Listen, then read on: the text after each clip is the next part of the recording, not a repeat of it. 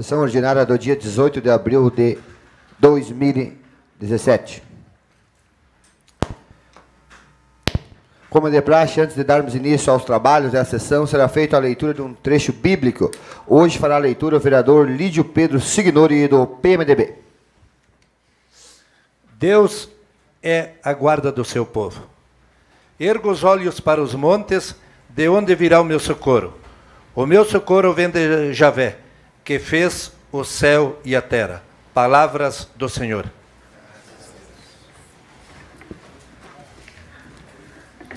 Com as bênçãos e proteção de Deus, declaro aberta a presente sessão.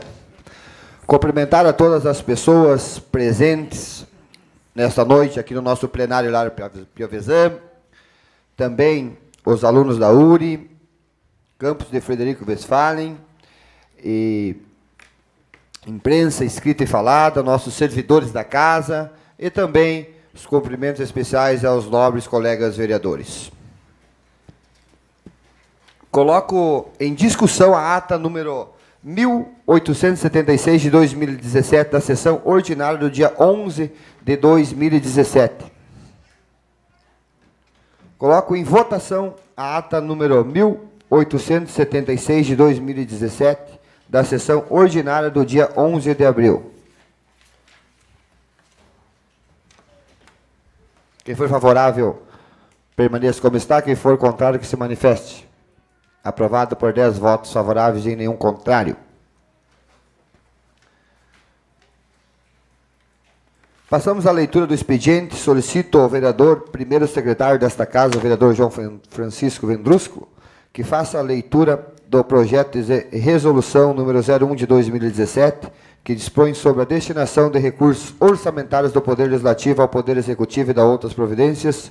Também a moção de aplauso número 03 de 2017, ao Conselho Regional de Contabilidade do Rio Grande do Sul, e o requerimento número 01 de 2017, homenagem para a Ordem dos Advogados do Brasil, subseção de Frederico Westphalen. Projeto de resolução número 01 de 2017. Dispõe sobre a destinação de recursos orçamentários do Poder Legislativo ao Poder Executivo e da outras providências. A mesa diretora da Câmara Municipal de Vereadores de Frederico Westphalen, Rio Grande do Sul, no uso de suas atribuições legais, na forma do artigo 72 da Lei Orgânica Municipal, do artigo 33, inciso 3 do Regimento Interno, faz saber que o plenário da Câmara de Vereadores aprovou e a mesa diretora promulga o seguinte: Resolução. Artigo 1 Fica o presidente da Câmara Municipal de Vereadores autorizado a destinar ao Poder Executivo Municipal a importância de R$ 1 milhão e 300 mil reais mediante redução parcial da dotação orçamentária do Poder Legislativo. Artigo 2 A fonte dos recursos será deduzida das seguintes rúbricas. Órgão 1 Câmara Municipal de Vereadores, Unidade 01, Manutenção da Câmara de Vereadores, Projeto Atividade 1001, Construção, Ampliação e Reforma sede própria do Legislativo, elemento 4490 51.00.00.00.00.00, obras e instalações, 300 mil reais elemento 4490.61.00.00.00.00, aquisição de imóveis, 350 mil reais. Subtotal da redução, 650 mil reais. Órgão 1, Câmara Municipal de Vereadores, Unidade 1, Manutenção da Câmara de Vereadores, Projeto Atividade 1.002, Aquisição de Veículo, Poder Legislativo, elemento 4490.52.00.00.00, equipamentos e material permanente, 25 mil reais. Subtotal da redução, 25 mil reais. Órgão 01, Câmara Municipal de Vereadores, unidade 01, manutenção da Câmara de Vereadores, projeto atividade 1.003, aquisição de móveis e equipamentos do Poder Legislativo, elemento 4490 52.00.00.00.00, equipamentos e material permanente, 100 mil reais, subtotal da redução, 100 mil reais. Órgão 01, Câmara Municipal de Vereadores, Unidade 01, Manutenção da Câmara de Vereadores, Projeto de Atividade 2.001, Manutenção das atividades da Câmara de Vereadores, Pessoal Elemento, 3190.11.00.00.00.00.00. Vencimentos e vantagens fixas. Pessoal, pessoal Civil, 175 mil reais. Subtotal da RA Redução, 175 mil reais. Órgão 01, Câmara Municipal de Vereadores, Unidade 01, Manutenção da Câmara de Vereadores, Projeto Atividade 2.002, Manutenção das despesas operacionais, Câmara de Vereadores, elemento 3390.30.00.00.00.00, material de consumo, 220 mil reais, elemento 3390.39.00.00.00.00, outros serviços de terceiros, pessoas jurídicas, 130 mil reais. Subtotal da RA redução, 350 mil reais. Total de redução, 1 milhão e 300 mil reais. Artigo 3 essa resolução entra em vigor na data da publicação mesa diretora da Câmara de Vereadores de Frederico Westphalen, aos 17 dias do mês de abril de 2017. Vereador Jacques Douglas Oliveira, presidente. Vereador Celso Luiz de Oliveira, vice-presidente. Vereador João Francisco Vendrusco, primeiro secretário.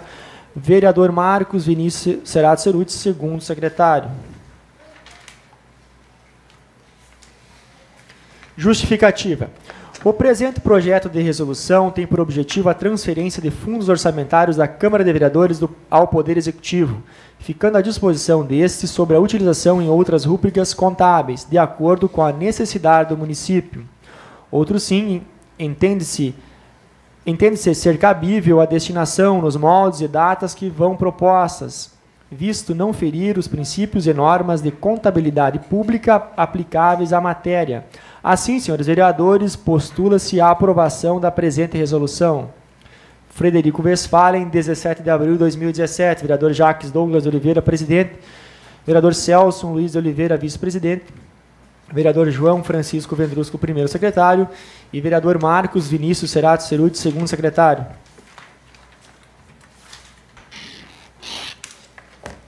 Requerimento, senhor presidente. Com a palavra, vereador Edson Dalmolin. Gostaria de justificar a ausência do colega vereador José Armando Grassi, conforme atestado já encaminhado a essa casa, encontra-se acamado. Acatado o requerimento do vereador Edson Dalmolin.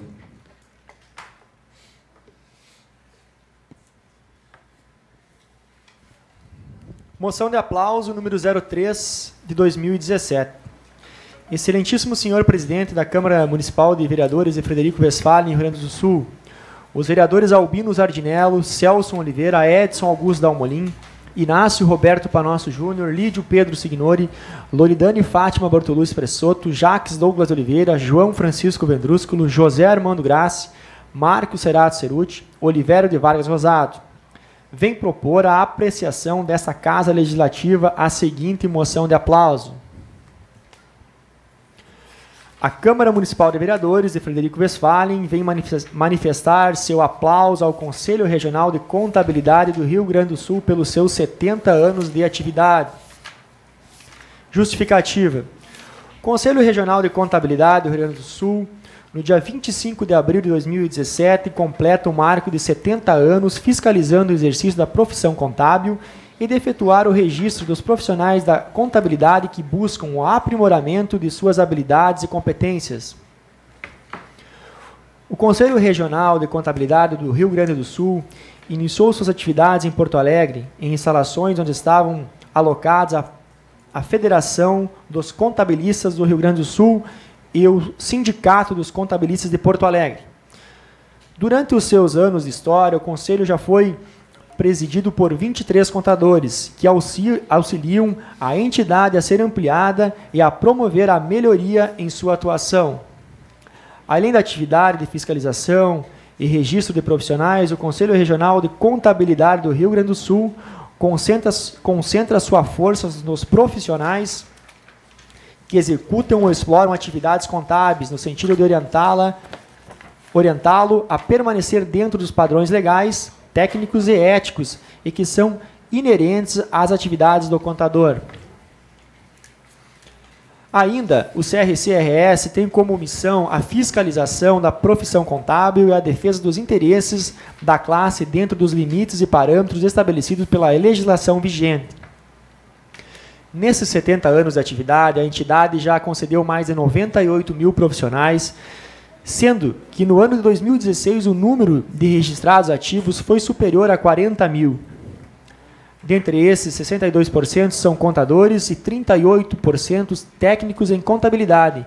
Em relação ao total dos profissionais, 52% são homens e 48% são mulheres.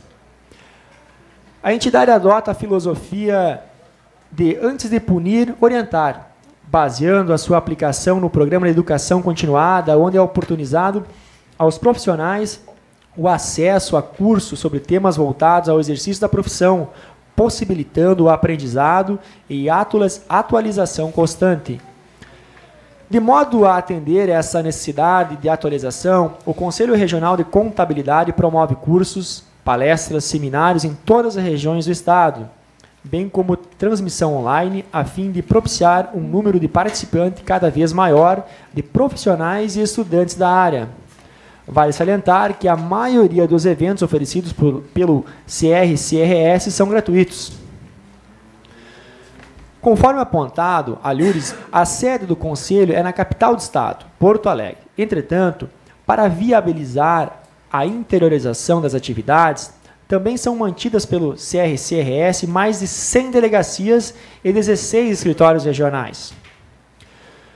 Os escritórios são instalados em regiões de grande concentração de profissionais registrados e funcionam mediante acordos operacionais com os sindicatos da respectiva região.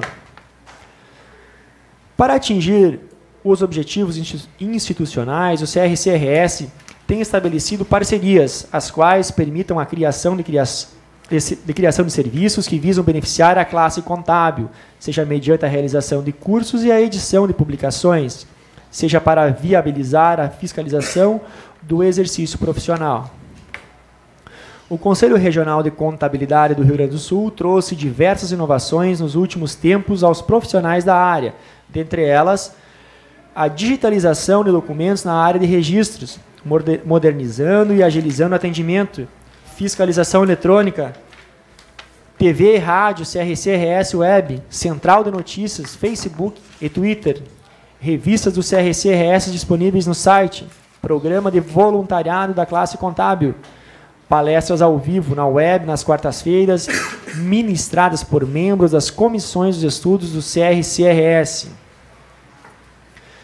Diante de todo o exposto, por se tratar de marco singular para os profissionais da classe contábil gaúcha, bem como pela fundamental importância e respeito à entidade, é que se apresenta essa moção. Requer-se que a presente moção seja encaminhada ao Sindicato dos Contadores de Frederico Westphalen, Rio Grande do Sul. Sala das sessões da Câmara de Vereadores de Frederico Westphalen, Rio Grande do Sul, aos 11 dias do mês de abril de 2017 vereador Albino Zardinel, do PP, vereador Celso Oliveira, do PSDB, Edson Dalmolin, do PP, Inácio Roberto Panosso Júnior, do PMDB, Lídio Pedro Signor, do PMDB, Loridane Fátima Bortolucci Pressoto, do PP, vereador Jacques Douglas Oliveira, do PMDB, vereador João Vendrusco, do PMDB, e vereador José Armando Graça, do PP, junto com o vereador Marcos Cerato Ceruti, do PR, e vereador Olivério de Vargas Rosado, do PDT.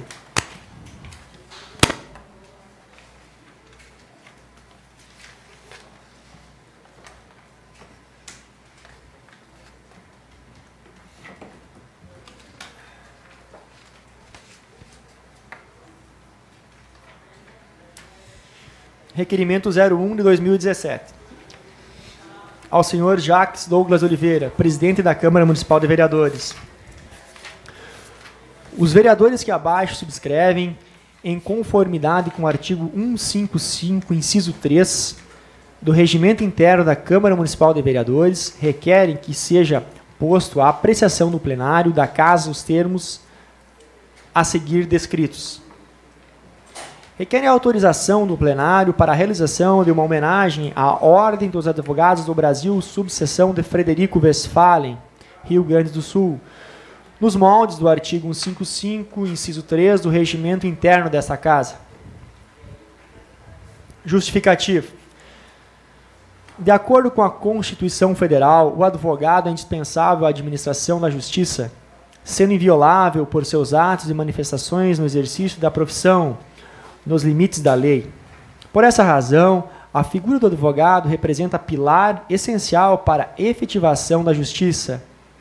Nesse contexto, a Ordem dos Advogados do Brasil surge com o dever de zelar pelas prerrogativas dos advogados, a fim de garantir a liberdade e a dignidade do exercício da profissão, bem como para fiscalizar o cumprimento de, dos deveres imbuídos ao advogado na atividade profissional.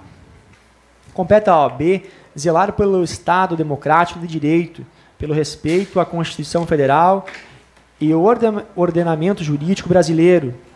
Ademais, a entidade possui uma responsabilidade social elevada, pois tem como condão de, através de suas formas de intervenção, defender os interesses de toda a coletividade.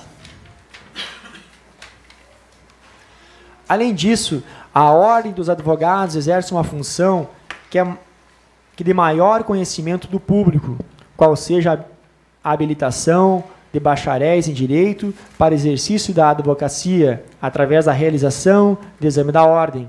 Desse modo, a OAB desempenha papel de destaque não somente em relação aos profissionais da área jurídica, mas para toda a sociedade que utiliza da prestação jurisdicional.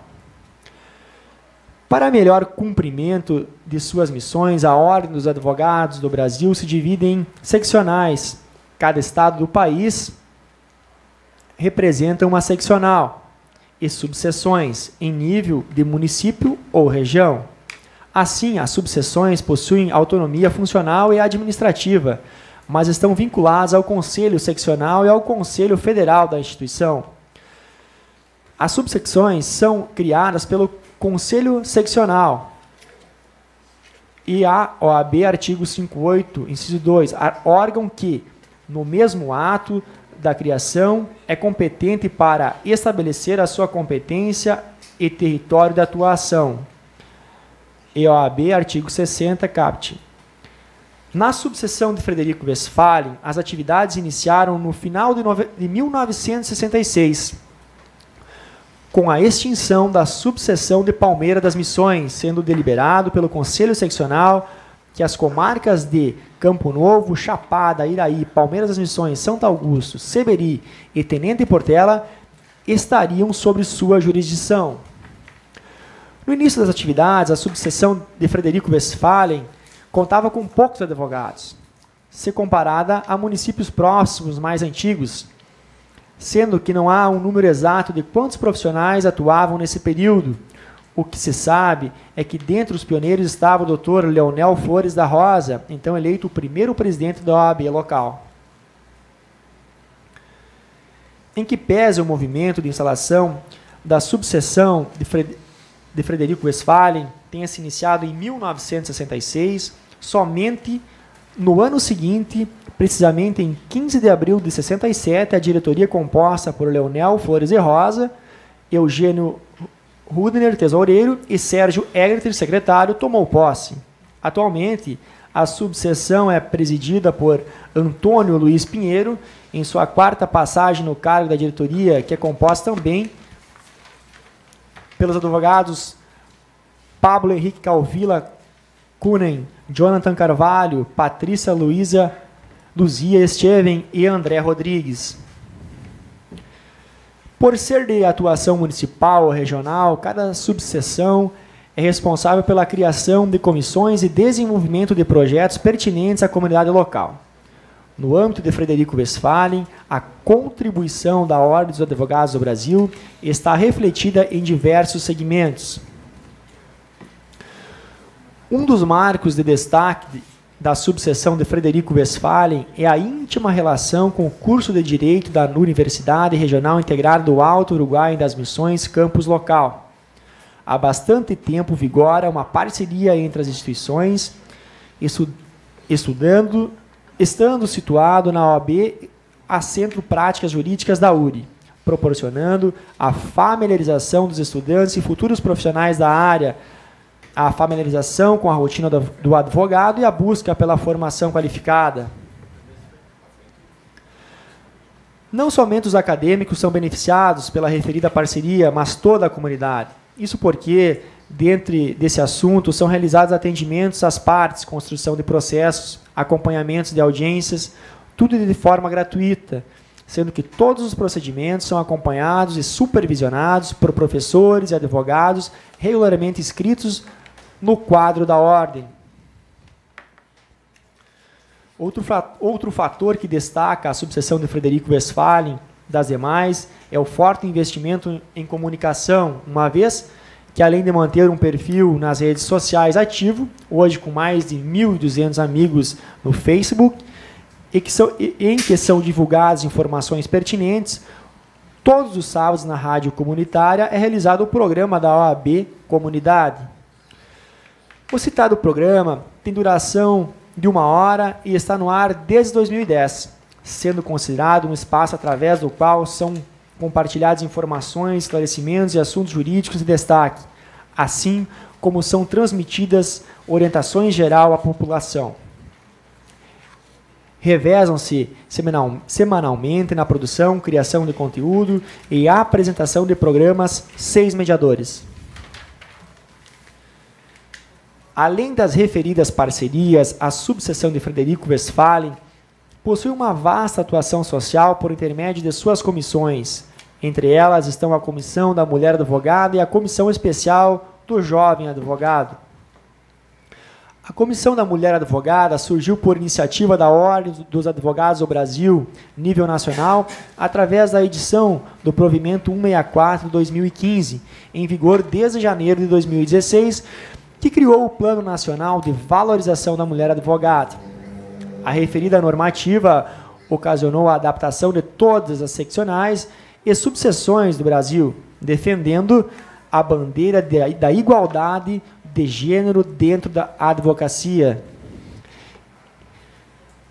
Em Frederico Westphalen, a CMA é presidida por Patrícia Luzia Steven, que mantém e compõe a diretoria da subseção, vice-presidida por Jane Manfredi Melo Ceruti, e tem como secretária adjunta, respectivamente, Daniela Riboli e Giovanna Ferigolo de Faria. A Comissão da Mulher Advogada promove atividades para a valorização dos profissionais da classe, como o chá e o happy hour, da mulher advogada, mas também está enganjada nas atividades de cunho social, como as pro programações realizadas pelo município em comemoração ao Dia da Mulher, em que as advogadas da subseção realizam palestras sobre variados temas jurídicos em localidades próximas.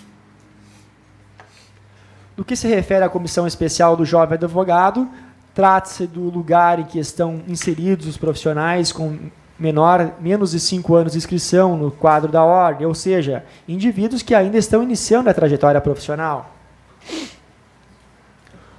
O intuito da comissão é promover a integração dos novos membros da subseção, bem como realizar projetos de capacitação do jovem advogado, como cursos, oficinas, seminários, e promover a busca de parcerias e convênios que possam facilitar o cotidiano laboral daquelas que buscam construir uma carreira na advocacia.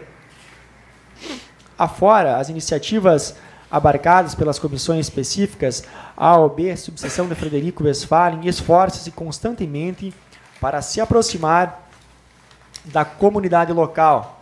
Uma iniciativa da comunidade local. Uma iniciativa de grande importância pode voltar a acontecer no ano de 2017. O projeto OAB vai à escola. O projeto é composto por um conjunto de palestras ministradas por advogados em escolas municipais onde são abordados temas diversos e abrange alunos de variadas faixas etárias. Os temas tratados surgiam principalmente do interesse dos alunos em determinada área, de modo que o advogado tinha o papel de gratuitamente abordar as principais questões e sanar eventuais dúvidas das crianças e dos adolescentes. A necessidade de retomar as atividades como essa surge da constante divulgação através dos meios de comunicação e mídias sociais de notícias que possuem relação com o direito. E como se sabe, nem toda a informação divulgada na internet por exemplo, é confiável, portanto, o papel social da OAB, nesse caso, possui destaque. Outro ponto de importância na história da subseção de Frederico Westphalen é a atuação e a preocupação com a educação penal. Desde a fundação do presídio municipal, a OAB verifica as condições de cumprimento de pena dos apenados, fornece o suporte necessário ao sistema prisional e possui um projeto permanente de fornecimento de materiais de higiene e limpeza para o local. A Ordem dos Advogados do Brasil, subseção de Frederico Westphalen, possui sede própria, feito conquistar após 38 anos de sonhos e planejamentos. Uma das curiosidades sobre a sede é também um fato que diferencia a subseção das outras localidades. Frederico Westphalen é a única subseção que não pediu doação de terreno para o município. O terreno foi comprado pela metade do valor por oferta do proprietário e também advogado Benhur Biancon, que hoje dá nome ao auditório da subseção como homenagem pelos seus préstimos à instituição. A obra foi construída com valor otimizado, tanto que novamente foi feito inédito, levado em conta a parte da construção. A estrutura da sede é de cinco salas, auditório com capacidade para 80 pessoas e salão de festa amplo, capaz de abrigar até 240 pessoas.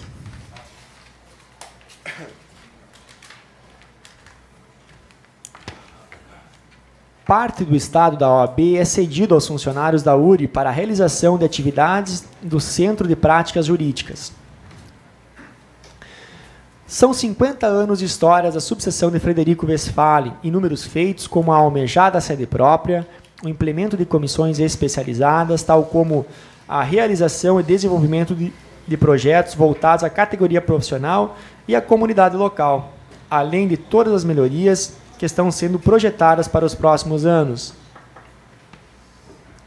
A importância da subseção justifica-se na relevância dos serviços prestados, uma vez que, conforme apontado a Lures, o advogado é indispensável para a administração da justiça, ou seja, não há processo judicial, em alguns casos, até mesmo procedimento administrativo que não dependa do advogado para ser efetiva. Portanto, fundamental que se tenha uma estrutura eficaz para dar suporte à categoria profissional e que também fiscalize as atividades exercidas pelos profissionais na região, obedecendo sempre os ditames legais vigentes e as próprias disciplinas da ética do advogado em si. Nesses termos, considera-se que a subseção de Frederico Westphalen, além de que se propõe uma subseção tradicional da ordem dos advogados, está à frente dos demais, visto que se preocupa com a inovação dentro da advocacia, através do incentivo ao advogado jovem, do uso das redes sociais, dentre outros mecanismos apontados. Não obstante as inovações, a subseção promove a qualificação de toda a classe dos advogados, fazendo com que Frederico Westphalen conte com uma alta gama de profissionais atuantes e qualificados para atender todos os tipos de demandas jurídicas, de modo que a instituição merece ser homenageada. Sala das sessões da Câmara Municipal de Vereadores de Frederico Westphalen, aos 17 dias do mês de abril, vereadores Albino Zardinello, Inácio Roberto Panosso Júnior, Celson de Oliveira, Marcos Serato Ceruti, Edson Augusto Almolim, João Vendrúsculo, Lídio Pedro Signori, José Armando Graça, Loridane Fátima Bortolucci Pressoto e Olivério de Vargas Rosado.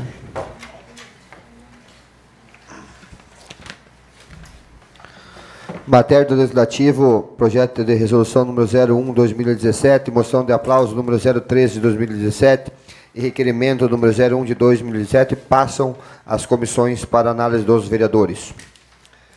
Passamos às pequenas comunicações. Vereador inscrito para falar é por um tempo de dois minutos, conforme manda o regimento interno da casa, é o vereador Edson Dalmolin, do Partido Progressista. Senhor presidente, colegas vereadores, chegou um convite à casa.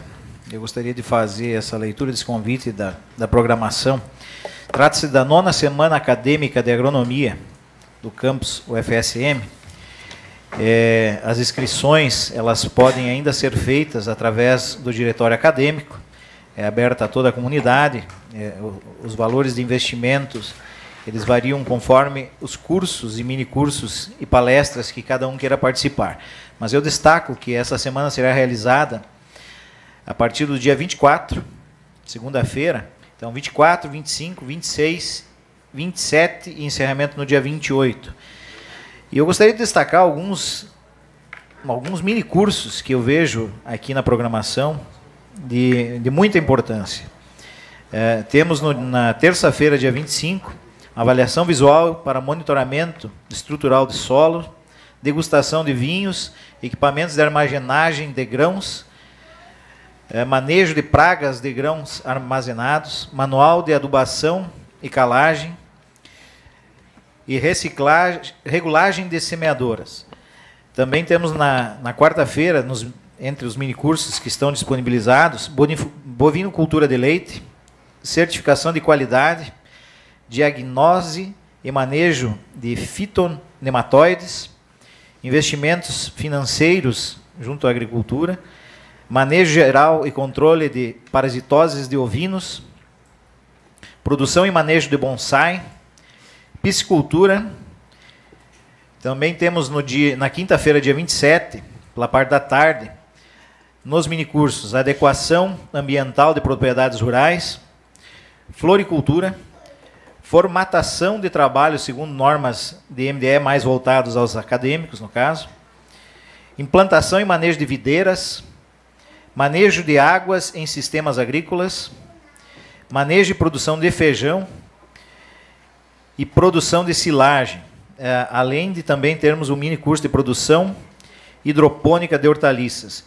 Todos com professores renomados, mestres, PHDs. Então, fica o convite que veio encaminhado a essa casa por parte da UFSM para essa semana da agricultura, da semana acadêmica da agronomia, que será realizado junto ao auditório do Instituto Federal Farroupilha. Passamos ao grande expediente, conforme acordo entre as bancadas, hoje não acontecerá. Requerimento, senhor presidente.